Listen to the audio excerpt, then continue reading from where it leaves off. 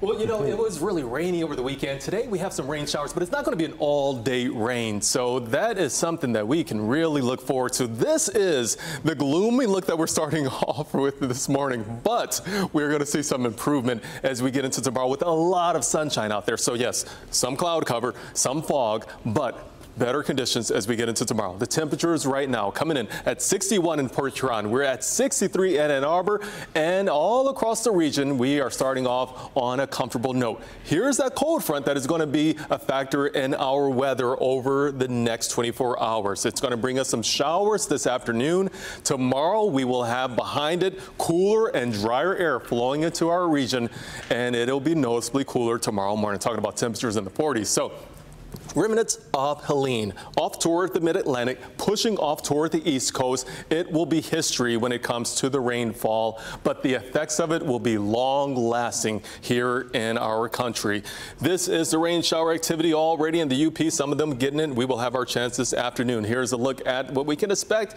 Late morning hours, we will see that fog dissipating any that develops. By 2 o'clock, showers developing as you get up toward the Saginaw area. Howell, Brighton, Fowlerville, Chelsea getting some of those showers getting down toward the Manchester area, some showers in your area. That line advances to the east. 4 or 5 o'clock, we start seeing showers popping up into the Farmington Hills area, getting over toward Troy, Auburn Hills. We will see some of those showers popping up around Southgate, also getting over toward Hamtramck. We will see showers moving through the region. That's out of here by evening. Maybe a couple of sprinkles left over for evening, but the line of showers will be to our east over southwestern Ontario. This morning, heading out for school and work. Again, cloudy out there. Temperature Temperatures in the 60s. We're around 70 degrees for lunchtime, getting up to 76 degrees in many locations, especially in Wayne County. But a couple of places getting up to 77 degrees, slightly cooler in Howell with 74, 73 in Flint. Now, tonight. I talked about 40s. It is going to be cooler late tonight and into tomorrow morning, so make sure that you are prepared with a jacket for tomorrow morning.